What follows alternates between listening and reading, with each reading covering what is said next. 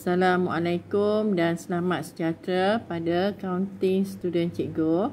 Okey, kita sambung lagi ya. Yang sebelum ni cikgu dah terangkan jenis-jenis jenis khas dan hari ini kita belajar uh, bagaimana nak merekodkan ke dalam setiap satu jenis jenis khas. Jadi hari ini kita pergi dulu ya, jenis belian. Okey, sumber maklumat jenis belian iaitu dokumen perniagaan apa yang kita ambil ya untuk merekodkan ke dalam jurnal belian. Sumber maklumat bagi jurnal belian ialah yang pertama invoice. Asal ya, bukan salinan. Yang kedua nota debit yang asal juga ya, bukan yang salinan.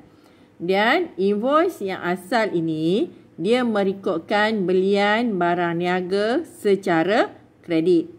Okey, asal kalau kita nampak invoice tu asal, dia mesti belian kredit. Nota debit yang asal ya merupakan invoice tambahan ya kerana penjual terkurang charge. Okey, nampak saja nota debit yang asal dia juga merupakan belian kredit.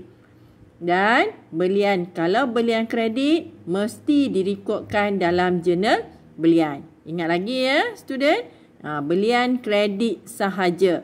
Belian tunai tidak boleh direkodkan dalam jurnal belian. Okey, kita lihat contoh. Ya. Okey, contoh ada invoice. Okey. Nampak tak? Invoice. Ya, tarikh dia pada 8 Jun ya di mana jumlah invoice telah ditolak diskaun niaga 20% ialah 1560 ya. Dan dia ada uh, apa syarat diskaun tunai iaitu 5% 7 hari. Kalau dia bayar dalam tempoh 7 hari dia dapat 5% ingat lagi ya. Okey sekarang kita analisis ya invoice ni. Okey yang pertama lihat dia asal Ingat yang tadi, kalau invoice asal, dia mesti belian kredit. Okey. Sekarang kita lihat siapa pembeli. Ya, perniagaan bestari ataupun pustaka ilmu. Oh, pandai. Ya, pembeli ialah pustaka ilmu. Okey, penjual? Ha, penjual ialah perniagaan bestari. Okey, sekarang kita nak merekodkan dalam jurnal belian. Bagaimana nak rekodkan? Okey, mula-mula kita masukkan tarikh Jun 8. Okey, butir. Butir nak masukkan pembeli atau penjual? Ya, kita perlu masukkan penjual. Kerana pembeli ialah kita. Ya, kita adalah pustaka ilmu dan ya, kita beli daripada perniagaan bestari. Jadi kita kena letak penjual. Ya, dan letak nombor dokumen dan letak jumlah dia 1560. Selesai. Okey, contoh yang kedua, nota debit. Okey, nota debit tadi uh, kita lihat nota debit ni ialah invoice tambahan dan kita lihat adakah dia asal atau salinan. Ya. Okey, asal. Kalau asal, dia adalah belian kredit. Okey, sekarang kita kena tahu siapa pembeli. Pembeli ialah pustaka ilmu. Kita tadi kan, kita ada pustaka ilmu. Dan penjual ialah perniagaan best stari. Ya, dan nilai invo, uh, nilai nota debit ni setelah ditolak diskaun niaga 20% ialah RM72. Okey. Jadi kita nak merekodkan dalam jurnal belian. Ya, masukkan tarikh 11 ya. Kemudian nak letak pembeli atau penjual?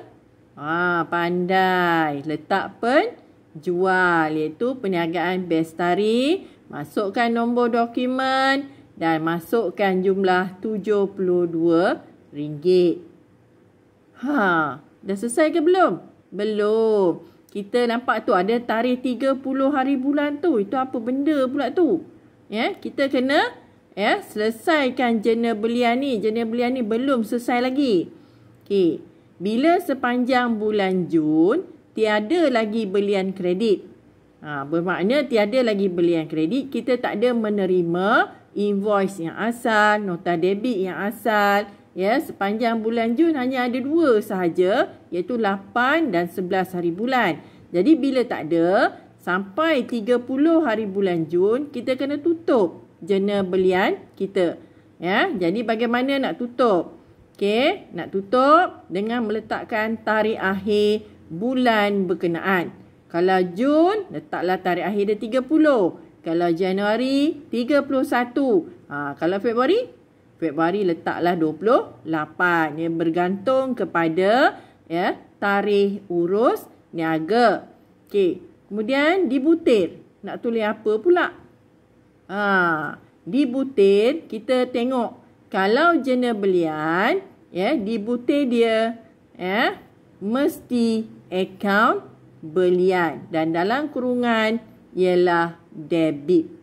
Ya, dalam kurungan ialah debit. Okey, sekian. Terima kasih.